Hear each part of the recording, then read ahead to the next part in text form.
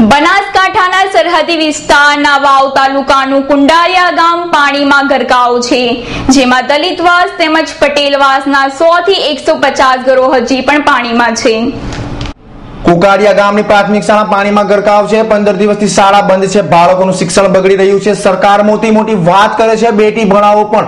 કુડાડિયામાં ગામની પંદર દિવસથી પ્રાથમિક શાળા બંધ હોવાથી બેટી ભણાવો હજુ બા શાળામાં.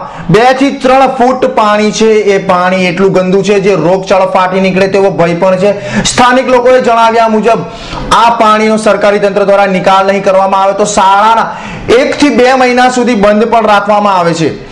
તેમજ જો દલિતવાસમાંથી શાળાએ આવતા માટે રસ્તો છે તે પાણીથી ચારથી પાંચ ફૂટ ગરકાવ થઈ ગયો છે. શાળાએ જવા માટે બાળકોને મોટી તકલીફ પડે છે. કુંડાળિયાથી વાવ જવા માટે હાલ રસ્તો પણ પાણીમાં છે. છ થી સાત ફૂટ પાણી ભરાઈ રહ્યો છે. રસ્તો તળાવમાં છે. જો તળાવનું પાણી ઓછું કરવામાં આવે તો રસ્તો ચાલુ થાય. નહીતર બેથી ત્રણ મહિના રસ્તો બંધ પણ રહી શકે છે. અત્યારે વાવ જવા માટે કુંડારિયા ગામના લોકો વીસથી પચીસ કિલોમીટર ફરીને વાવ જાય છે. ત્યારે તેમજ કુંડિયાળાના ગામમાં સિત્તેરથી એસી મકાનો પાણીમાં ગરકાવ થયા છે. પશુ પણ મરણ પામ્યા છે. ત્યારે સરકારી તંત્ર દ્વારા કોઈ મરણા પશુઓનો નિકાલ ન કરવામાં આવતા ગામમાં હાલ ગંદકીની ભીતિ સેવાઈ રહી છે. ત્યારે કોઈ પણ રોગચાળો ફાટી નીકળે તો જવાબદાર કોણ છે? તેવું લોકોના મુખે ચર્ચાઈ રહ્યું છે. ગામની પરિસ્થિતિ જોવા જઈએ તો એટલી બધી ગંભીર છે કે આ મેન રસ્તાથી લઈને અને ડીપીના નીચાણવાળા વિસ્તારોમાં પાણી ભરાઈ જવાથી રોગચાળાનો ભય, ભયની દહેશત છે. બાળકોને નિશાળે જવાનું બિલકુલ બંધ થઈ ગયું છે.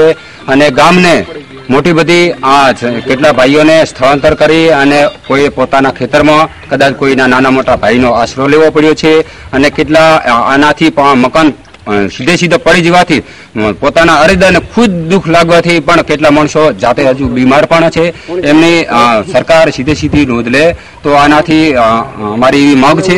અને બે હજાર પંદરમાં આવી એક પરિસ્થિતિ પાણી વિશેની થયેલી હતી ત્યારે પણ આ ગ્રાન્ટ સરકાર દ્વારા ફાળવવામાં આવી હતી. તેમાં કોઈ નાના મોટી ગ્રાન્ટમાં એવું થયું હતું કે બે હજાર કે ત્રણ હજાર આવું સરકાર દ્વારા અમને આવ્યું હતું. પણ અમારે થોડું એમને જાણતા એવું કીધું હતું કે તમારી ગ્રાન્ટ અમે કીધું અમારે ઓછી ફાળવી છે.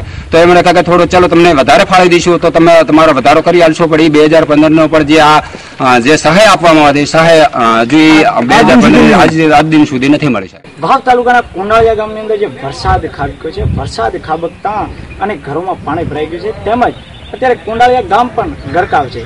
બસો થી ત્રણસો ઘરોને ઊંચાણવાળા વિસ્તારમાં સહારો લેવો પડ્યો છે.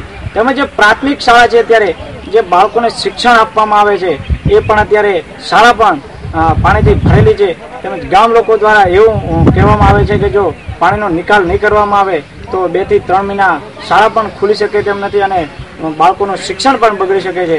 અત્યારે જે પાણી ગંધ મારી રહ્યું છે એ એક, એટલું ગંધ મારી રહ્યું છે કે અહીંયા ઊભું પણ રહેવડાતું નથી. તેમજ જે કુંડાળાથી વાવ જવા માટે જે રસ્તો છે, એ પણ અત્યારે બ્લોક છે અને એમાં ચારથી પાંચ ફૂટ પાણી ભરેલું છે. યશપાલજી વાઘેલા સાથે એસ નાઇન ન્યૂઝ થરાદ.